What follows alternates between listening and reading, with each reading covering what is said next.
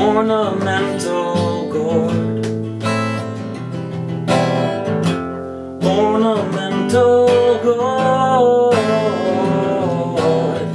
Do you have a Latin name, a genus or a phylum? We will know more